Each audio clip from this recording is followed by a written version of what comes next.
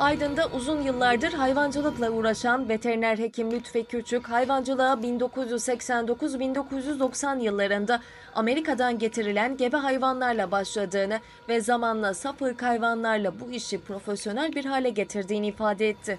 Amerika Virginia'dan gelen 3 tane gebe düve olarak getirdiğimiz Holstein hayvanlardan üreme gördüğünüz tüm hayvanlar.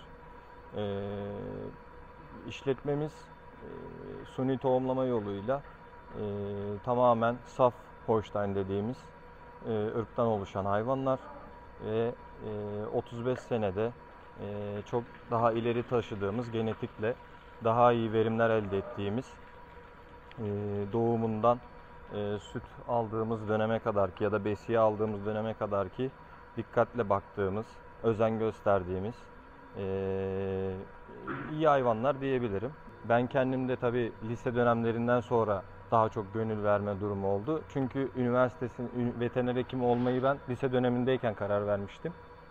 Ve bu işi yapacağımı, sevdiğimi e, o dönemlerde anlamıştım. Ve bugün de çok severek, e, gönül vererek yaptığım bir meslek. Hatta benim için meslek değil bir hobi ve e, iş gibi değil de hani daha çok böyle severek gelip akşama kadar vakit geçirdiğim, çalıştığım bile demeyeceğim güzel bir meslek şu an benim için. Lütfi Küçük hayvanların sıcaklardan etkilenmemesi için fan ve duşlama sistemleri kullandıklarını söyledi. Biz tabii annem babam dönemindeki gibi e, hayvancılık sistemi artık kalmadı. Sistem tamamen değişti. Sistem artık tamamen makine ve ham madde ham maddelerin konuşulduğu ve işini çok özenle yapman gerektiği bir döneme girdik. Biz de e, hem teorik olarak hem pratik olarak çocukluğumdan beri bu işi yaptığımız için en iyi şekilde yapmaya çalışıyoruz. Burada bir sürü hayvan var. Bunun bakımı nasıl oluyor? Ee, üreticiler nelere dikkat etmeliler? Bir veteriner hekim olarak neler söylersiniz? Yani hayvan üretiminin doğum şimdi doğumdan başlayalım diyeceğim ama doğum öncesinde de bir kuru dönem beslemesi dediğimiz gebeyken hayvanın son iki ay dönem son iki ayki gebelik döneminde başlıyor aslında her şey. Ee, hayvanınızın bir yıl boyunca alacağınız süt verimini gebelik döneminde şekillendiriyorsunuz. İki ayda baktığınız hayvanın tüm e, geride kalan bir yıl boyunca alacağınız süt verimini burada şekillendiriyorsunuz. O yüzden bu hayvanın ihtiyacı olan tüm e, şeyleri vermeniz gerekiyor kuru dönem beslemesinde. Hayvanımız doğum yaptıktan sonra buzağı dönemindeyken buzağısı ayrı, kendisi için ayrı bir besleme şekli oluşturmanız gerekiyor. Üreticilerimizin elindeki ham maddeye göre bu genelde şekilleniyor. Aslında hayvana göre şekillendirmek gerekiyor. Ama üreticimiz maalesef elindeki olanaklardan dolayı e, etrafında bulabildiği ürünlerle hayvanına bakmaya çalışıyor. E, tavsiyem ne olur üreticilere? Hayvanınıza ne yedirirseniz yedirin, hayvanınıza ne verirseniz verin.